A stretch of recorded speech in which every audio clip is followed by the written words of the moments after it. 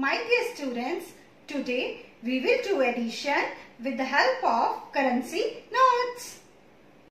On Monday, Aslam, Avneet Singh, Srishti and Sippy were playing in school playground. Sippy wanted to know that how many students are studying in third class. Aslam to Sippy, Sippy, do you know how many students are there in third class? Sippy to Aslam. Yes, Aslam, there are two sections of third class.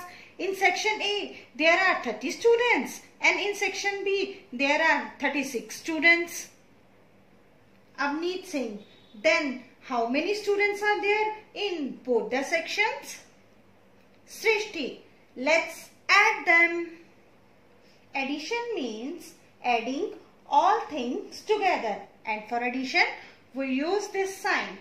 Sippy says for addition we will use currency notes. There are 30 students in section A. Let's count 10, 20, 30 and you know 30 is equal to 3 tens. So my dear students 0 at ones place and 3 at tens place. There are 36 students in section B. Let's count 10, 20, 30, 31, 32, 33, 34, 35, 36. Now my dear students, we will firstly count 1 rupee notes. Let's count 1, 2, 3, 4, 5, 6. And yes, you know 6 rupees is equal to 6 ones. So 6 at ones place. Now let's count 10 rupees notes. 10, 20, 30. Yes, 30 is equal to 3 tens. So 3 at tens place.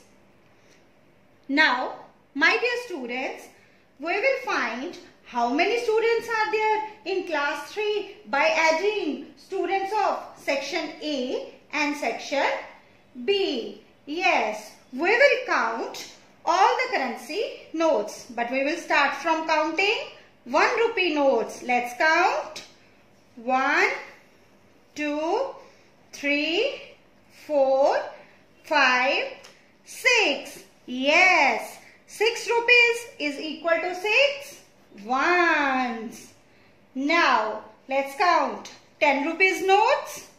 10, 20, 30, 40, 50, 60.